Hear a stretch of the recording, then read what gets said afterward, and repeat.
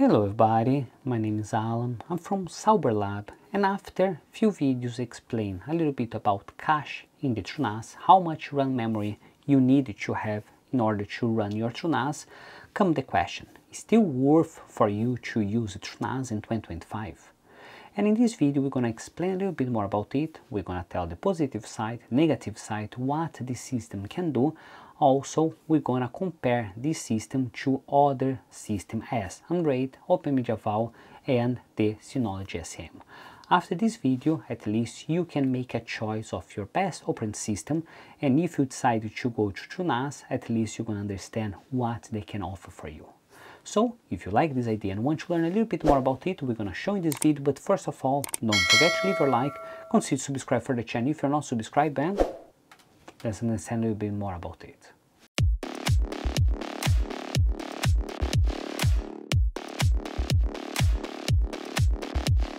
After show how you can set up TrueNAS, how you can set up pools, how you can set up applications, explain a little bit more about TrueNAS, it's interesting to understand if it's still worth to use the TrueNAS. So if you guys come here my screen, the topic of this video is, is TrueNAS is still worth in 2025 because now we have a lots of different operating system and also the question is it's the best one for your DIY system or it's only one other operating system. First let's try to understand what's TrueNAS. TrueNAS have two options. You have the TrueNAS Scale and TrueNAS Core. TrueNAS Core it's free but it's a little bit old and what we're gonna look is TrueNAS Scale, what is based on Linux, have a lot of apps and principally they have Docker. Docker it's a place or this container manager that you can install lots of different containers and in this way you have a lot of applications. Basically anything that you imagine you can go for GitHub and someone create a Red container potentially not work 100% the way that you want but have something that's red there and you can review the code, you can understand a little bit more about it and can make the best of this system for you. So let's try to understand what exactly TrueNAS offer for you and why it's interesting. Let's make a little bit bigger here. So what TrueNAS offer today? TrueNAS offer the ZFS file system and ZFS file system is really really interesting. Why I say that's really interesting? Because they manage your data, they guarantee that safe, and also you can create massive pools. You can create a pool that is almost one petabyte or over one petabyte and still manage the system as the same way that would be a small file system. Only remember, more storage, more RAM, it's recorded. Also, they have a fantastic option for snapshot and replication. Do snapshot just work. You know that you're gonna do a snapshot and if you need to recover that data, it's not a backup, but if you wanted to recover that data, you can go for a snapshot, recover this data and that's, that's it, it's sorted. Also with the TrueNAS scale, they have the option for use Docker, to use Kubernetes and you have a lot of different applications that you can add on this. Also, TrueNAS have the option for virtual machines. So you don't need to only stop with TrueNAS, you can have different machines inside this TrueNAS and because your NAS can be 20 by 7 running is good if you need this virtual machine as well 20 by 7. You can have lots of stand applications or with the scale you can add a lot of Docker containers, what make your system kind of hybrid and work quite well. And you have the support for Active Directory. You're gonna ask, well, Alan, what is Active Directory? Active Directory, it's connect with Azure and that's, um, let's say, it's a system for Microsoft that allowed you to have a passwords managed between your Azure and passwords manage between your TrueNAS without the need to update it. And uh, you're gonna ask, Alan, it's really similar for a lot of other systems. Yes, it's really similar for a lot of systems and this reason that I put this table here. Let's put a little bit smaller for don't cover myself. And in this table I have a comparison between NAScale, Unraid, OpenMediaVault and Synology DSM.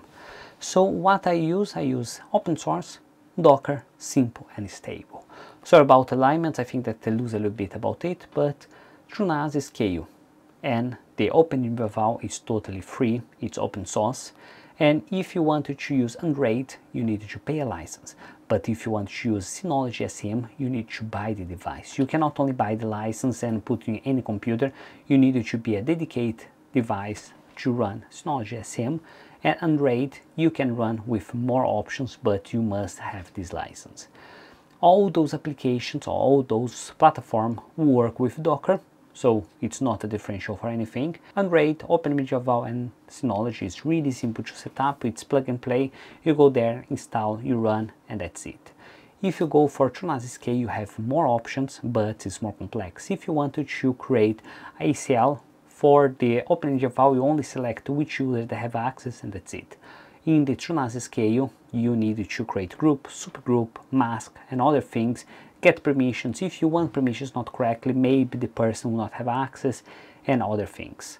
For stability, how long this system is already marked, TrueNAS Scale, Unraid and Synology and DSM work really well, not so much issues, they update, they keep the service update or this operating system update and you know that everything's fine.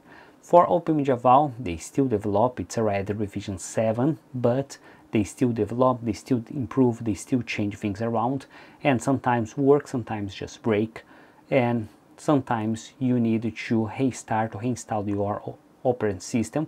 Not necessarily that your data will get lost, but you need to go for the pain to set up everything from zero, and sometimes it's not ideal. So in this way, why it's worth to use TrueNAS? Okay, if you need ZFS or if you want to have a really well stable for a system, ZFS will be the best one. You can have a pulse, you can have a subpulse, you can have a cache in the system, you can have a big storage, really massive storage, and you know that this data will be safe and not corrupt your data.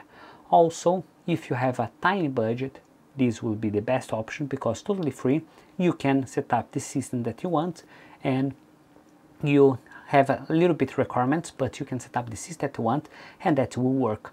Other platforms you cannot set up the same way. The easiest one is OpenMediaVault that basically install everything, but sometimes don't work.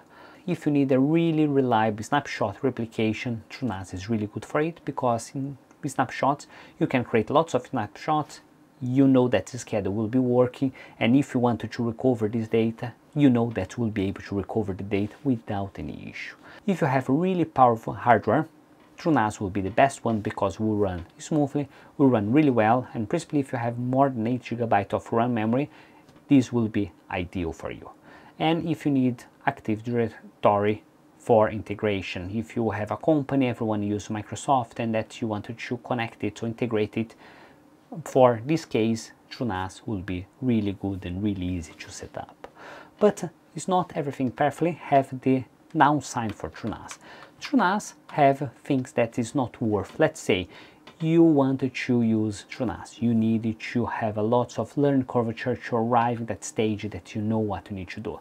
Because it's not only put permission for users, you need to create a proper ACL with all the configuration. If you wanted to configure groups, you need to configure it properly with permissions of the group properly. Anything that you want to do, it's a little bit more complicated. If you go for OpenMediaVault, it's just install and that's it. So your learning curvature needed to be high and you need to know a lot of things before you are confident to make your system running or before you put all the data that you really trust in that TrueNAS because potentially you can break it and you don't want to lose your data. The interface is a little bit confused because not so intuitive. You cannot only find everything in a way that um, a normal person or person that never use uh, this system will know. So if you want to set up your system for first time, get used with OpenMediaVault and that you go for TrueNAS if you understand a little bit base. The bad thing that's not necessary that all the hardwares will work with TrueNAS because different for OpenMediaVault, you can install it, let's say in a Raspberry Pi and that will work. TrueNAS is a little bit different. You need to have some requirements. You need to have a more powerful system. You need to have at least more than 8 GB of RAM memory. You need to have things that sometimes you don't have and that uh, put you out for the TrueNAS user.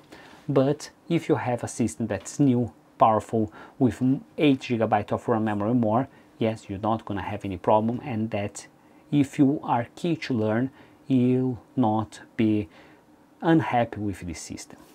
So in other words, let's try to understand why you want to use TrueNAS in 2025 and if the system is yours or not. If you wanted to have a really reliable file system, that's the ZFS, this one will be for you.